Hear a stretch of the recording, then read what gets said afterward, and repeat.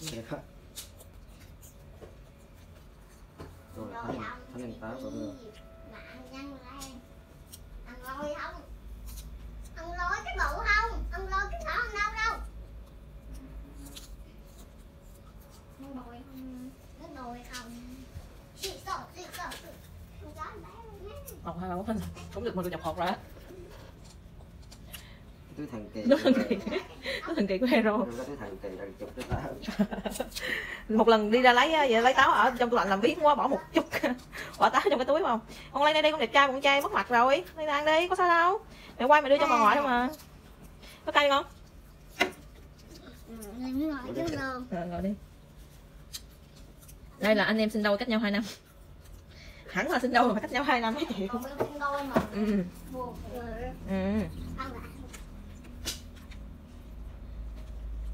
Mà ai tháng mà để ai tháng tám hả?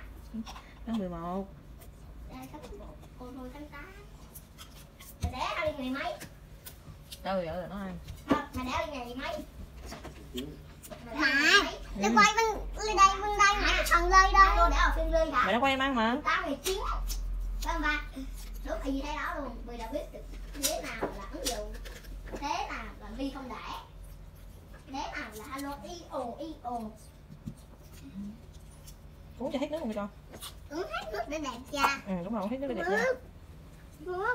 thì để cho mình nói vậy khác lạnh một đống chai nước mới nó lạnh Nước. trời uống hết luôn đi con Thôi, có nhiều chuyện ghê Mày thấy chưa Mày cứ tính của mày tôi tắt luôn rồi. rồi biết rồi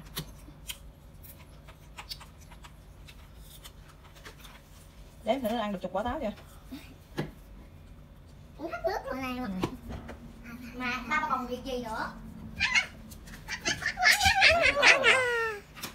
Để bị đếm cho. có có thần kỳ còn táo không Một, hai, ba. Con như táo. 6, 7, 8, 9, 10, 11, 12, 13 13 à 13 cái rồi hốt đem ra làm phân đi Hay là đồ hốt đi đi đâu ăn mà đồ hốt ăn đâu Đi đâu ăn đâu Có bảo đồ đâu trời ơi không phải rô ăn đâu ăn. chứ ai ăn Ba Không ăn. đồ Để ba đồ ăn À. mẹ ba rô ăn trời ơi mẹ không ăn từ nãy có mình rô ăn ở trong đó Đi bỏ của mẹ đâu Đây kho không rồi. Ờ đó không đi bỏ hết cho mẹ rồi. Còn của rô đó rô ôm hết đi. Ăn xong thì dẹp đi chứ. Bỏ rồi biệt biệt đắng cay đâu 100 cái. 13 cái tôi ăn 13 cái